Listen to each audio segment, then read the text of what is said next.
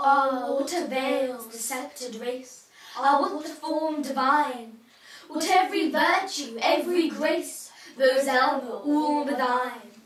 Rose Aylmer, whom these wicked lies may weep but never see, a night of memories and sighs I consecrate to thee.